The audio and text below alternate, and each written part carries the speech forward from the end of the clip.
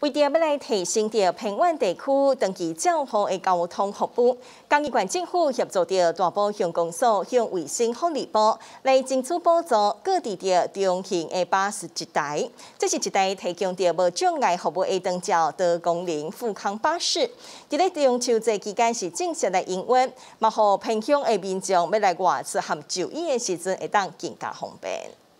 大山线是大埔对外交通唯一道路。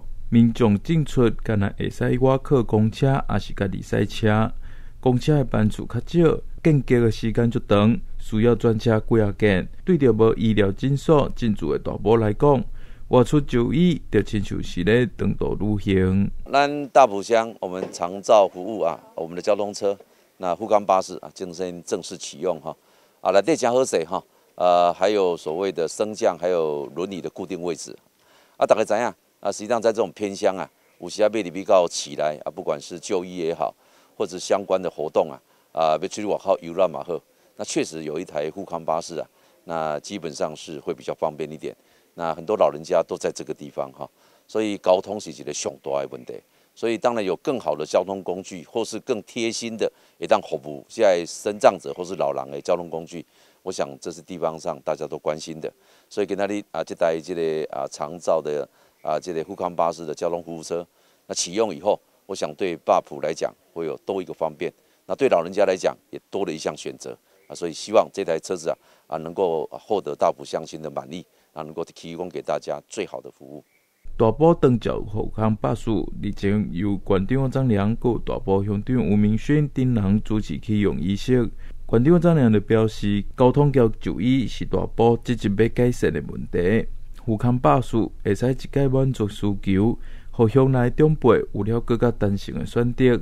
巴士的设备是非常的多，啊，佮有固定轮椅的位，一定会使提供大埔乡亲上好的服务。西新新闻陈义成大埔乡采访报道。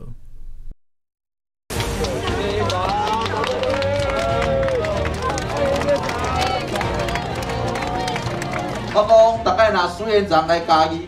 就是要家己开力，就是要家己精神，要家己继续往前走。去年的十二月十九号宣布要促成嘉义有科学园区，那今天来宣布整个科学园区所挑定的地点跟未来的发展。科学园区啊，这一块积木摆上去，等于整个龙宫大线架构能够完成。我想九月五号对嘉义来讲。会是一个未来永远必须要记得的日子，在十五年后、三十年后，大家就知道今天有多重要。因为今天的宣布代表嘉义往龙宫大线方向走。今仔日条件已经有啊，咱过去都家己实战，故宫南面嘛，规个已经发展起来。我就知影安尼一大发展的速度对无着边的效果。大中中的交代，要让家己更加好，咱家己爱互发展起来。